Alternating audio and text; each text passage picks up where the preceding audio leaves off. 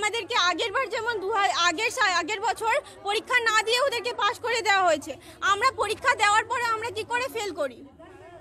পরীক্ষা কি খারাপ হয়েছিল পরীক্ষা আমাদের সবার খুব ভালো হয়েছে। তাহলে কেন ফেল যাদের খারাপ হয়েছে তারা পাশ করে গেছে। তাহলে ফেল করানো কেন? সেটাই তো আমাদের কোশ্চেন আমাদেরকে ফেল কেন করানো হলো? কি মনে হচ্ছে? কেন এটা? এটা ওরাই বলতে পারবে গভর্নমেন্টের লোক কি বলতে পারবে আমাদেরকে কেন ফেল করিয়েছে? আমরা কি করে বলব?